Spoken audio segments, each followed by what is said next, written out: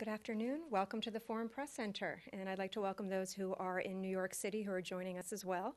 Uh, today, we have the pleasure to have with us a special representative to the Muslim communities, Mr. Shaarik Zafar.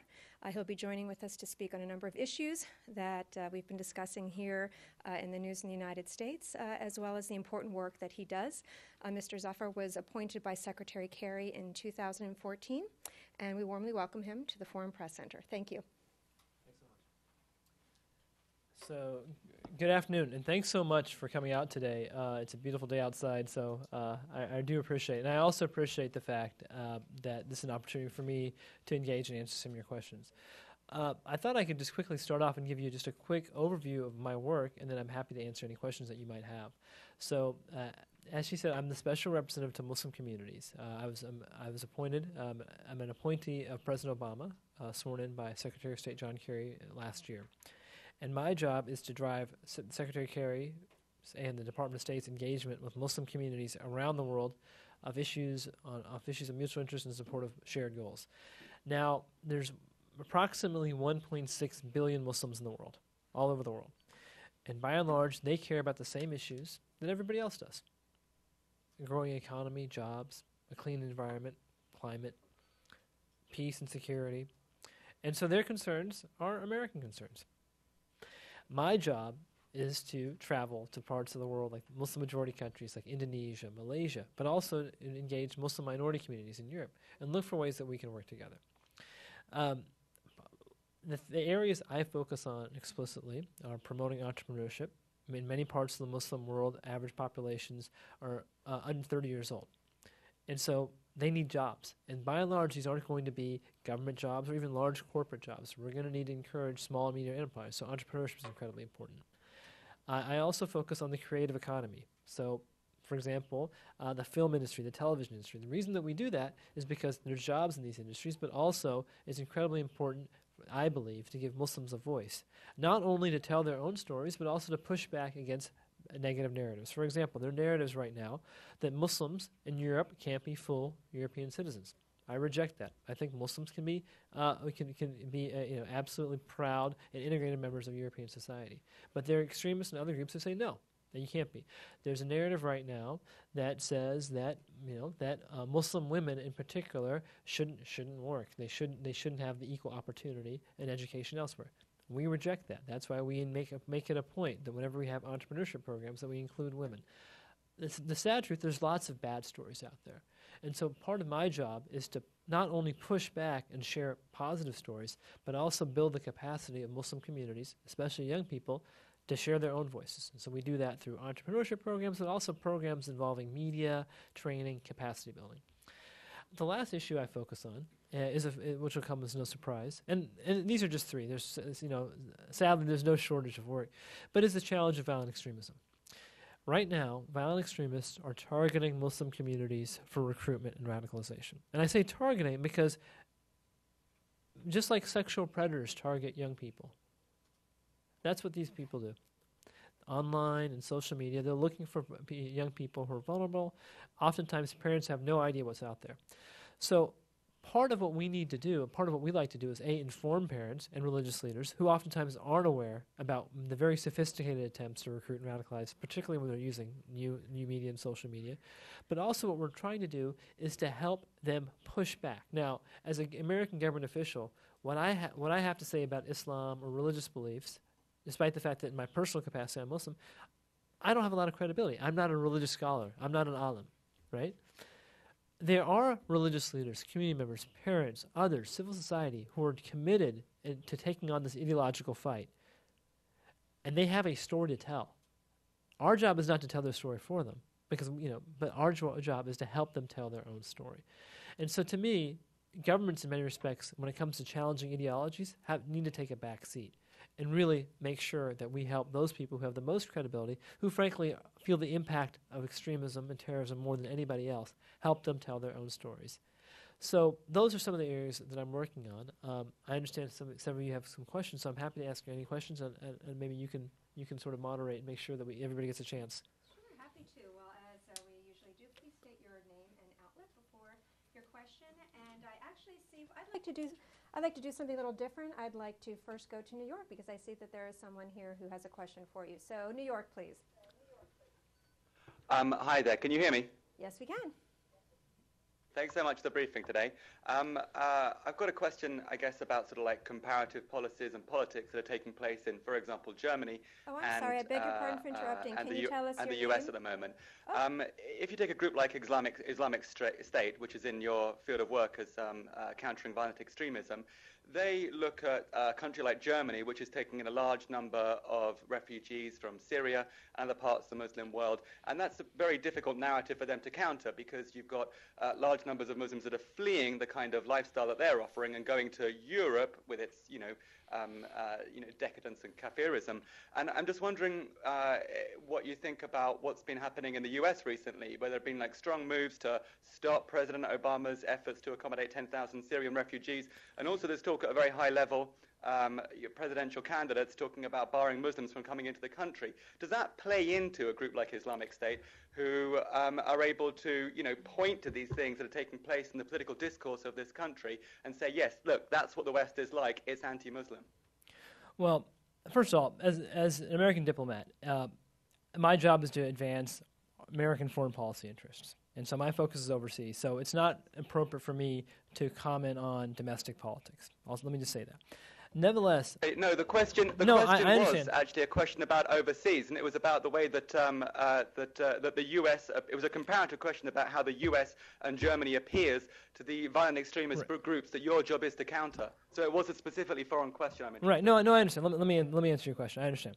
So, wha- the first point I'd say is that the United States has made a commitment to taking in refugees. You know, President Obama, Secretary of State have stated that very clearly. And it's really, I really can't improve upon the words that they've said that we have a commitment to taking in refugees, and that refugees, out of all the categories of people who come to the United States for settlement, have received the st- most, the, the most stringent, stringent testing. A. B. President Obama said it very clearly uh, last last Sunday that bigotry, and sadly bigotry exists everywhere, but bigotry in these types of anti-Muslim statements that you find advance advance uh, the ISIS cause because they propagate this view uh, uh, that there's in the United States is uh, is is uh, against Islam and Muslims. Now that's simply not true.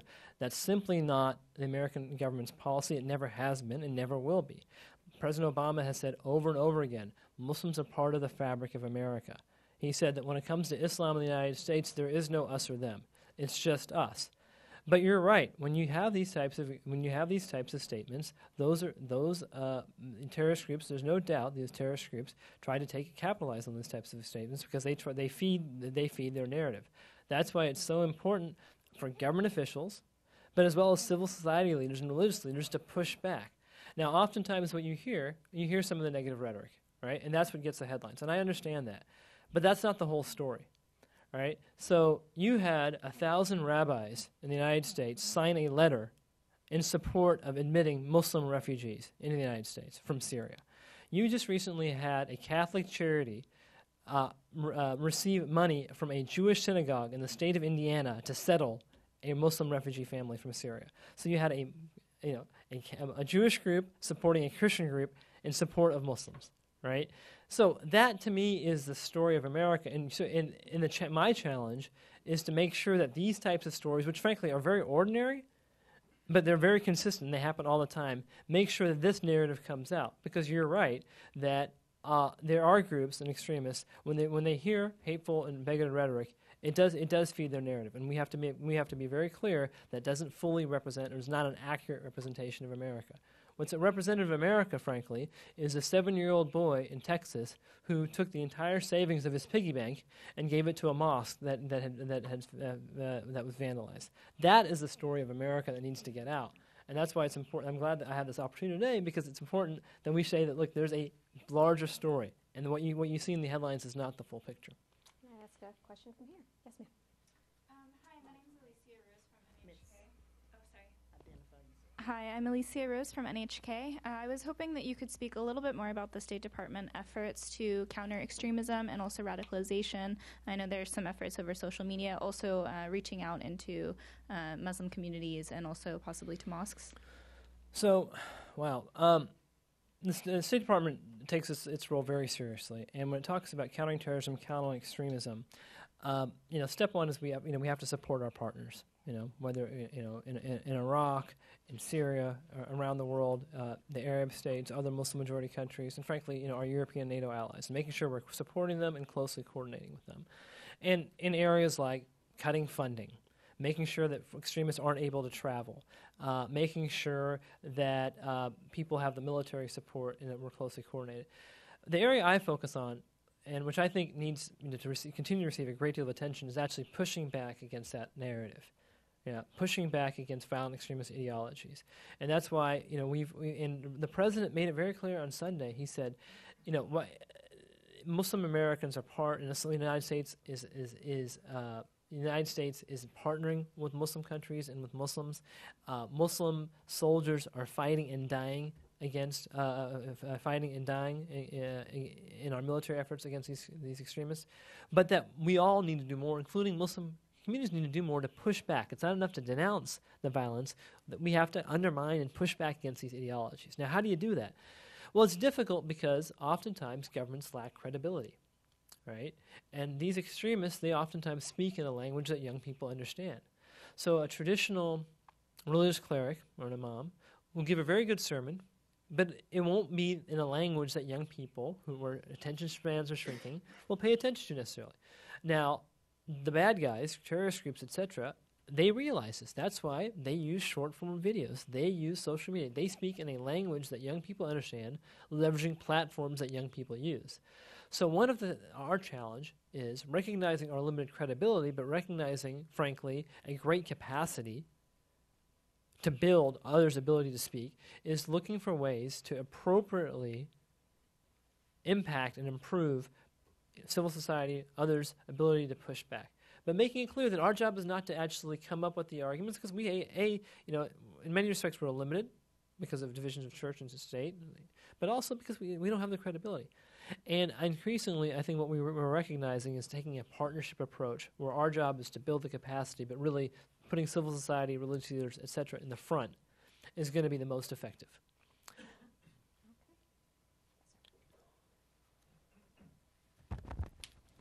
Thank you. Um, this is Jahanzeb Ali uh, from ARY News TV, Pakistan. I have many questions, but uh, this is a press conference, so I'll ask one. I hope after this press conference you will talk with me exclusively. um, after the California incident, uh, the Pakistani community have some concerns uh, living in America. But my question is that that after this incident, are you going uh, to put some st- more strict conditions for the Pakistanis to get the visas? Because this is already very difficult for the general public in Pakistan to get the American visa. So, are uh, you going to uh, take some more strict measures for the visa seekers, especially for the fiance's visa? Thank well, you. So, um, as, some, as, a, as a proud Pakistani American, someone who's born in Karachi, um, I know firsthand that the Pakistani American community has denounced what's happened, is shocked and dismayed uh, about the tragedy that's happened in San Bernardino, where so many uh, lives were taken senselessly. And they have spoken out, and they have made it clear that this does not represent them, just like American Muslims have spoken out, this does not represent them. And, and in fact, over $200,000 have been raised by the American Muslim community. There's a, there's a program called Launch Good. It's a crowdfunding pl- uh, uh, platform. It's actually created by an American Muslim. And they've raised to date over $200,000 by American Muslims in support of the victims of San Bernardino. This is another example of American Muslims, Pakistani Americans, others, uh, you know, an accurate portrayal about you know, their, their commitment to their fellow citizens. So they made it clear this does not represent them and that they're hurting and they are mourning just like all Americans are. Uh, I understand your question. Look, we always have to be clear and careful that whenever we admit we meet people in the United States, that we have, you know, the president and the secretary, one of their chief obligations is to make sure the American people are safe and secure. And so we met, we, we always have stringent guidelines about who can come in under what circumstances for how long. I'm not in a position to talk about any new policies uh, or, or, or, measures, but what I can tell you, as the United States remains open for business, it remains open for tourism, it remains open for education.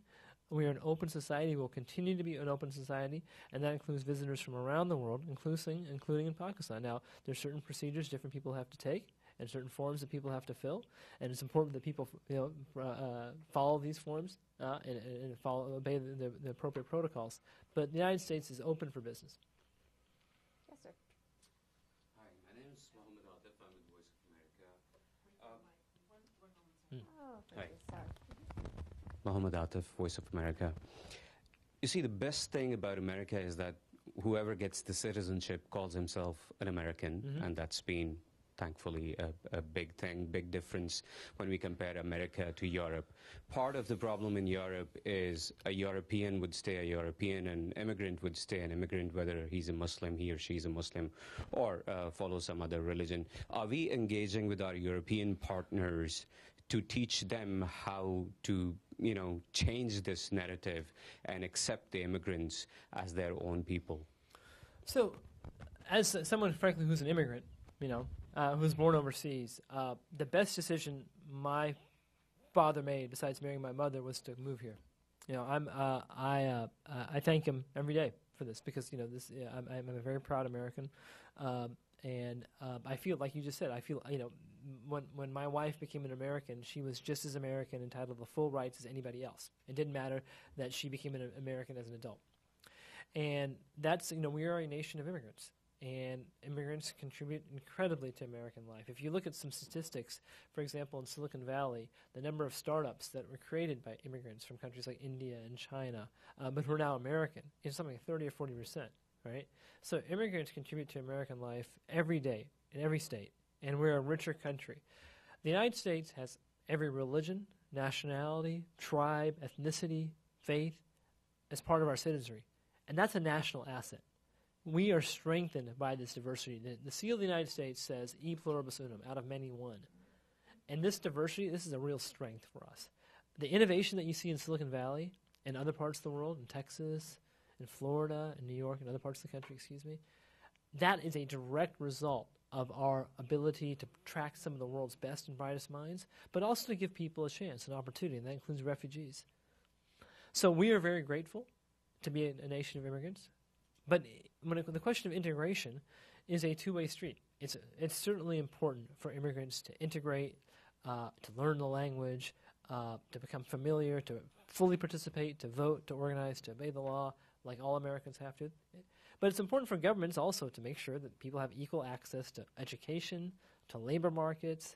Uh, so it's a two-way street, right? Now, no country is perfect. We can all do a better job. Uh, the United States certainly is committed, you know, to taking in immigrants and making sure that immigrants have the school, the, til- the skills and the tools to integrate, and that's something we do because we we know it's good for the United States. We work, we're in close uh, we're in close coordination on these issues with many of our partners, including in Europe.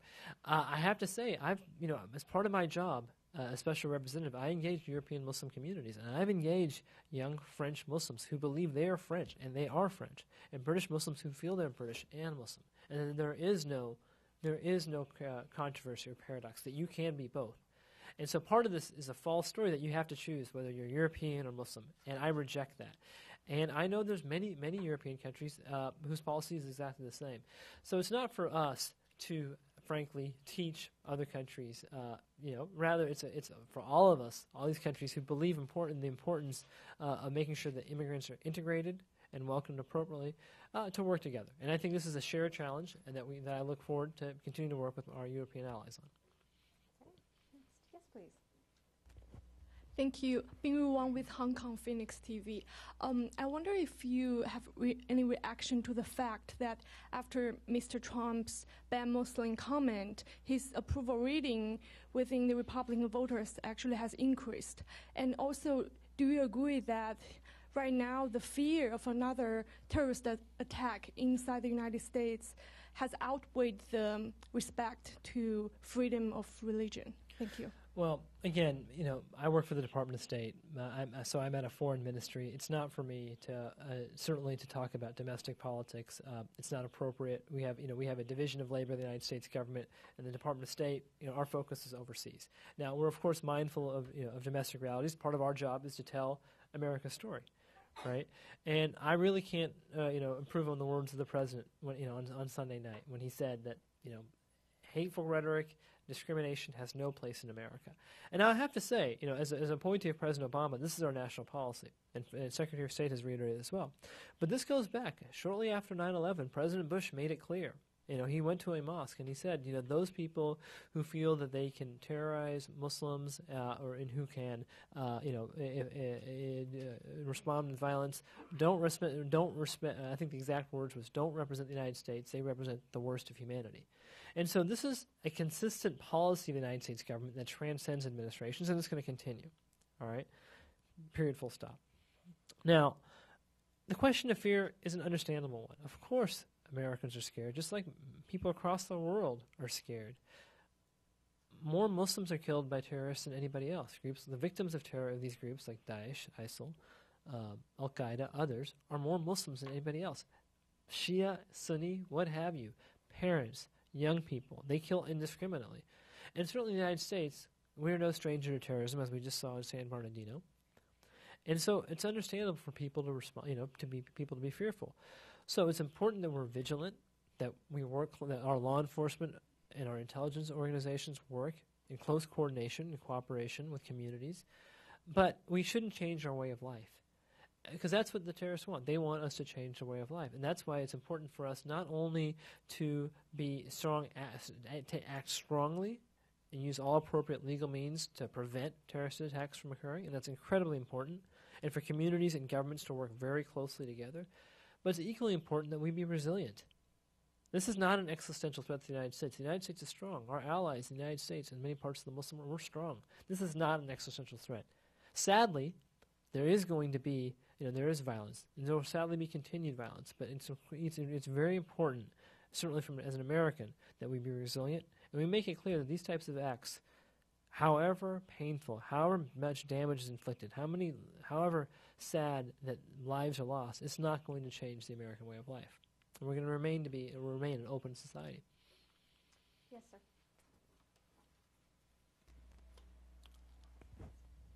Uh, thank you. Ali Imran from Pakistan Today newspaper. Uh, you touched on a very important uh, dimension in your initial remarks, which was the question of narrative. Mm.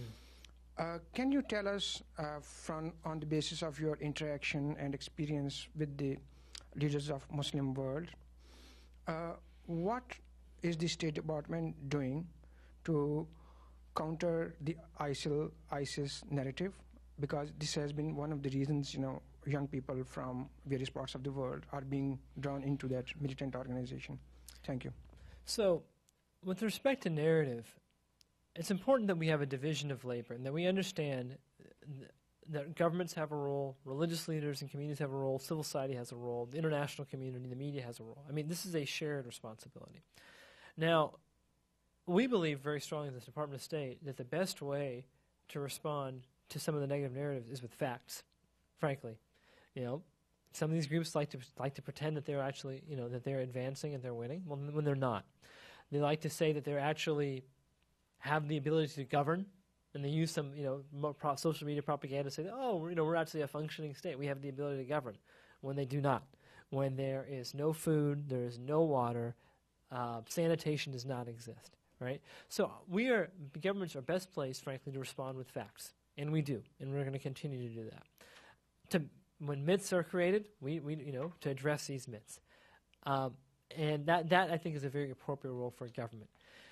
When it comes to religious arguments or the stories of victims of terrorism or the stories of parents, mothers who've lost sons, uh, when, it's, when it comes to uh, den- denouncing the actual ideology, whether it's masked in religion or elsewhere, we're not always best placed. And so, what our job is really one of building capacity. And so, I said this earlier. What we're doing is looking for ways to build the capacity of non governmental voices to tell their own story. Because ultimately, they are victims more than anybody else, Muslims. But they also have credibility. And we have to be mindful of that. And we have to proceed with some humility. When it comes to law enforcement action, intelligence sharing, military actions, making sure that funding is cut off, all these roles, that's where government has to lead. And we are leading We're together with our partners, including many, many Muslim majority countries who are part of the anti ISIL coalition. But when it comes to pushing back against the narrative, we do have a role. but it's a much more modest role, and it's it's it's really important that Muslim communities, others, uh, step up. sir, you had a question. Oh, I'm sorry. Just, Uh, creating conditions to give an economic economic hope to the people, especially those who are marginalized communities and who are uh, vulnerable to exploitation. Is that part of the so uh, narrative? When it comes to economic development, that's just part of our American foreign policy. That has been for decades. My colleagues at the U.S. Uh, Agency for International Development, USAID, every day they work to look for ways to support uh, entrepreneurs and economic development in many parts of the world, and that includes Muslim Muslim countries, Muslim majority countries. That's just good government. That's just good foreign policy. That's the generosity of the American people, and we do that, frankly, because we want the rest of the world to develop economically. We want them to buy our goods. We want to buy. We want them to buy their goods. That's why the president, you know, one of his lead, uh, his chief priorities right now is getting this Trans-Pacific Partnership trade deal uh, finalized because it's you know increased trade means increased economic opportunity. So that's just good government. That's just American foreign policy. Period. Full stop.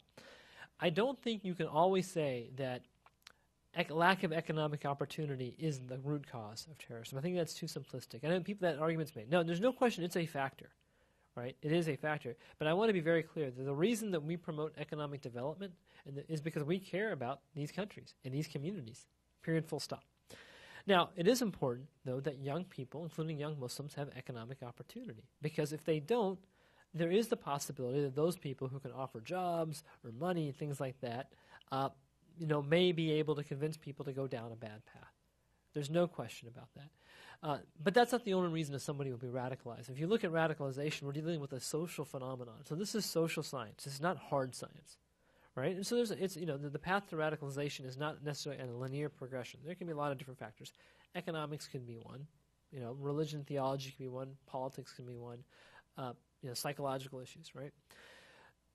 That said, I you know one thing that I take very seriously is the idea of promoting entrepreneurship because it's so important that young people have opportunities. You know, we're dealing with a youth bulge in many of these countries, and we have to make sure that this is not a demographic bond bomb, but a demographic dividend. And part of that is giving young people the skills they need to develop their own businesses and to grow, grow their local economies. Okay, I have one question here. Yes, sir, and then we'll go to New York. Thank you. Thank you very much. Uh, my name is Tatsuya Mitsumoto from Jiji Press, uh, which is Japanese wire service. Mm. Um, the, my question is, um, so uh, what what can you expect uh, to Muslim community and then religious leader in order to push back mm-hmm. extremes? I mean, uh, what uh, can you explain the concrete step um, which the community and leader can do?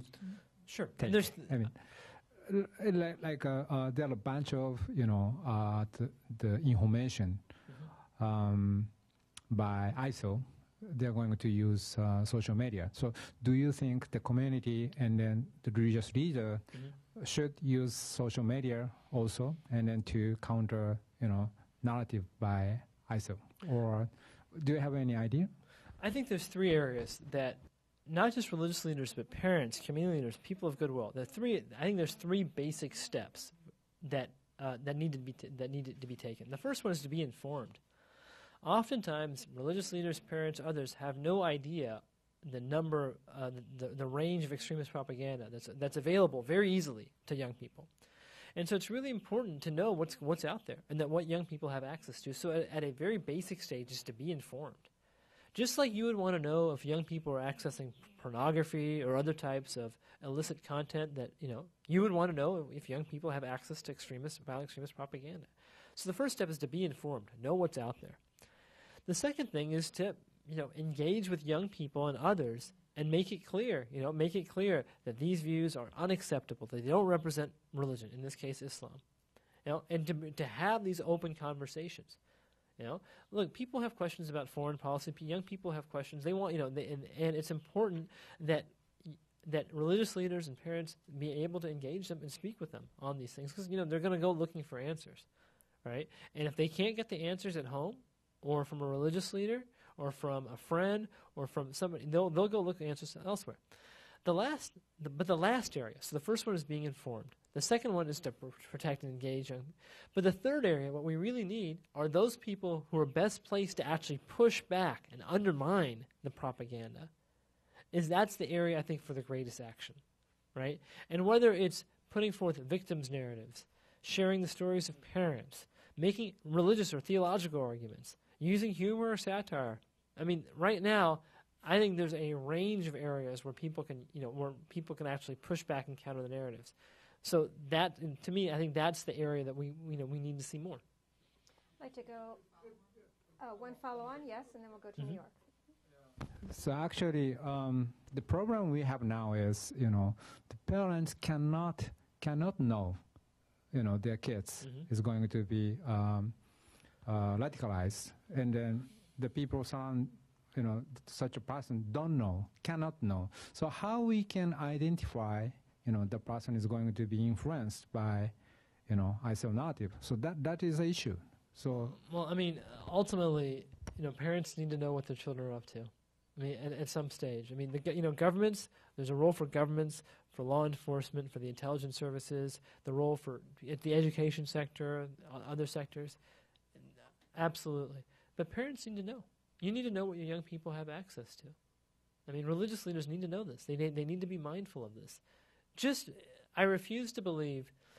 If you look at other social ills, or you know, or, or social is perhaps not the best word, but other problems that communities are facing, whether it is the threat of gang violence or sexual predators, or frankly, you know, uh, uh, other types of, we we fully expect parents to be involved and to know these types of things. Well, this is the same thing.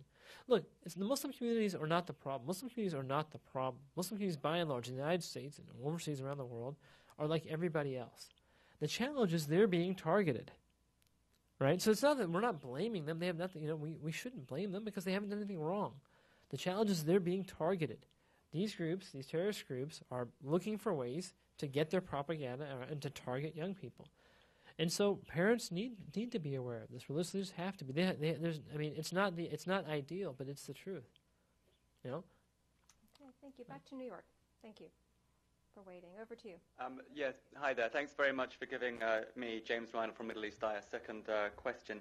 Um, it's uh, another question that sort of bridges uh, um, domestic issues with your broader mandate uh, through the State Department and to Muslim-majority countries. But it's about this uh, new rules that are, were voted on in the House this week about changes to the visa waiver scheme that's going to impact mostly Europeans who are also dual nationals or have got links with Muslim-majority countries four of them Sudan, Iran, Iraq, and Syria. I presume you know the background to the changes, changes that the administration has come out in support of.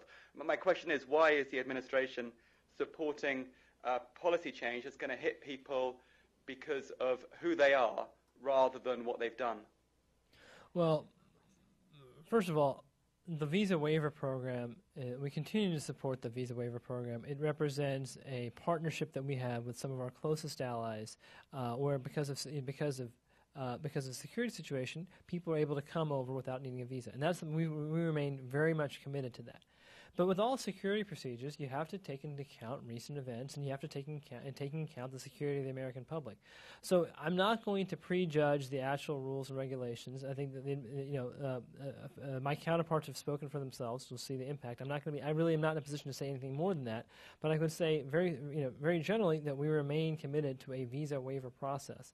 Now, uh, this, you know, in terms of the specifics and changes like that, I really can't get into that. Uh, I'm really not the best person. I, I encourage you know. I think that's that's that question is really more properly directed to the Department of Homeland Security and others in the State Department because that's that you know that's not an area I focus on. But at, at, at a very broad level, we remain very very committed to the visa waiver program because it symbolizes uh, a, a, ver- a, ver- a partnership with some of our closest allies. Thank you. Yes, sir. Thank you very much. I'm Iftikhar Hussain. I work for Voice of America, pursuant to the Border Region Service, Pakistan-Afghanistan border area. Thanks for the briefing. Uh, you said you deal with the foreign policy, not the domestic issues. Um, generally, foreign policies are the reflection of the domestic politics and everything that happens, and that's why we believe pluralistic America. The people should know about it. You know, when President Obama last week was delivering the uh, one of the uh, important speech, uh, in, the, in the aftermath of the California shooting, he reached out to the Muslim world, uh, calling on them to be partners, and they must do.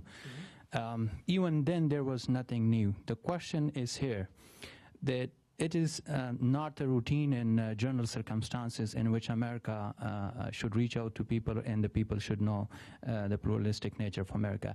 Uh, in the California aftermath, in the Trump remarks, they're resonating across the Muslim world and they're becoming the identity.